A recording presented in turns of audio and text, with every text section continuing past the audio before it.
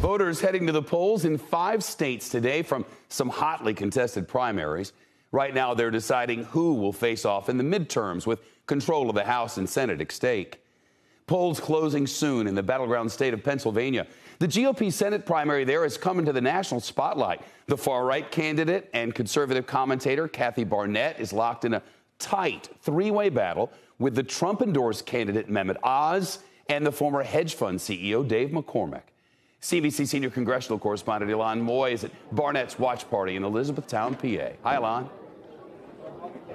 Well, hi, Shep. This is the heart of central Pennsylvania where Kathy Barnette is hoping that tonight will be her night. Now, folks are starting to trickle in for her watch party as they wait for those polls to close at 8 p.m.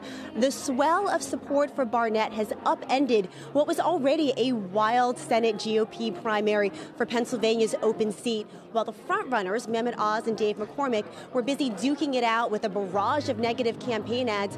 Barnette was traveling 1,500 miles a week across the state and introducing herself to voters.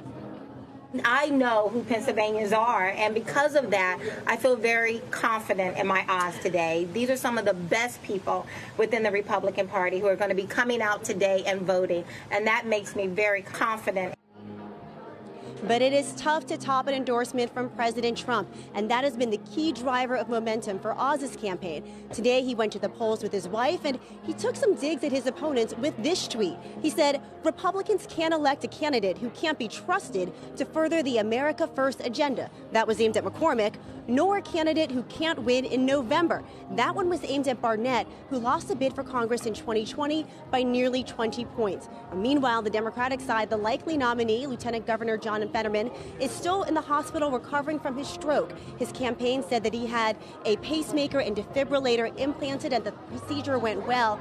Today, Fetterman released these photos from his hospital room. His wife said he is feeling better, but that she doesn't want him to push it whatever date they give me, I want them to add a week to that.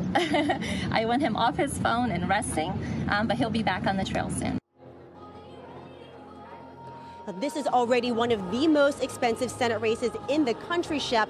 But voters here know that tonight is just the end of the beginning. Ylan Mui, live in Pennsylvania.